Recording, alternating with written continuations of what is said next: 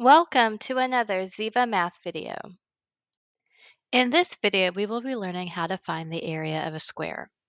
Area is the measure of two-dimensional space inside of a flat shape, and it's measured in square units, such as square inches or square meters.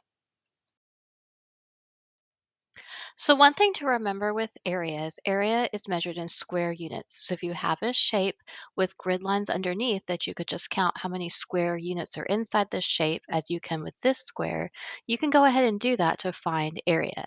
So if we are counting the square units, we have one, two, three, and four. So we have four units squared inside this square. So that is one option you have besides just using the formulas to solve for the area. However, most of the time you're going to want to use the formula to find the area of a square. The formula for finding the area of a square is area equals s squared, where s is the length of the sides. Remember, side squared will be the same calculation as side times side. Let's go back to our example and solve it using the formula. So the formula to find the area of a square is area equals s squared, where s is the length of a side. And in this problem, our sides of our square are two units.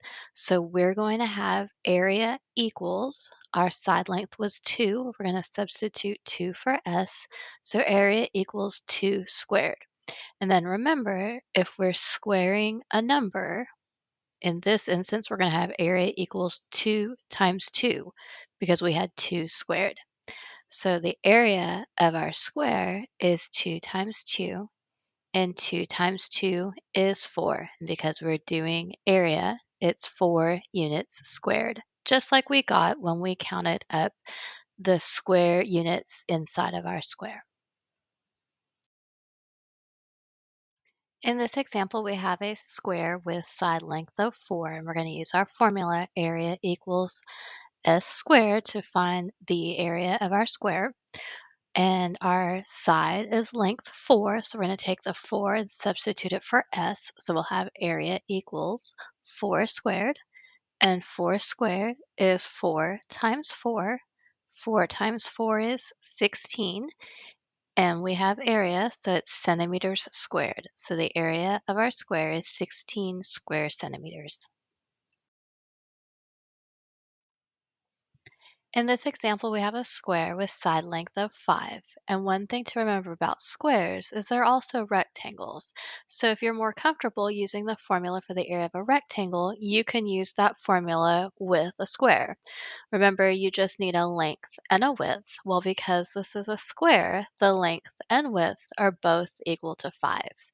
Then you go to the formula for the area of a rectangle and you substitute those values. So we'll have area equals, well, our length is 5, so we'll substitute 5 for L, times W. Our width is also 5, so we'll substitute 5 for W. And we get area equals 5 times 5. Well, that's area equals side times side. So it's the same basic formula. So we have area equals 5 times 5.